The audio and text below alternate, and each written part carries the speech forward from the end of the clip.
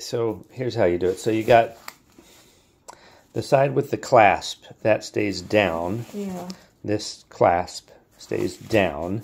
Good. Then you put your wrist right on top of it.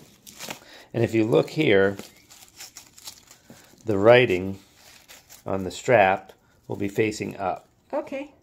So the clasp is, facing is down on the table. at the moment. The writing is up. And then you just wrap it around your wrist or your ankle or whatever you're trying to do. And you feed that strap through the through the clasp. That's right. That could be done before you put it Yeah, on. you could. You could just leave then it that way. Like this. Yeah, you could just leave it that way. Now, should I be like this or like this? Uh, however you want. Either way, what did he tell her, him to do? it's going to stay on. The idea is that that it stays on there. So let me make sure. Yeah, and you can see that this writing ends up again. The writing. We're going to do it just so you can see. So the writing is up. Mm-hmm. The clasp is down. Mm-hmm.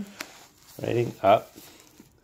Then yeah, you could hold that like that. You slide this through the clasp, and that's going to double back over itself. You're going to double this back over itself, and when you do that, it allows the writing to appear that way. And then you can make it as tight or as loose as you want. Yeah. Well, And then you just roll it around this way, and this is just vel. Bigger. This is just Velcro. Okay. Fair So that's. Oops. Here we go. Well, see, my wrist is small, but that'll fit him better. Yeah. And and if it's too light, you can do two of them. You can double it up. Like you can put like one on the inside of it. But if you think that's a good amount of weight, then you're good.